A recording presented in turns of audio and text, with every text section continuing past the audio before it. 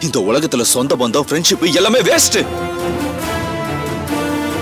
உன் புள்ள பண்ண எதுவும் உன் கண்ணுக்கு தெரியலல்ல? ஆமாங்க. அப்படியே வச்சுக்கோங்க.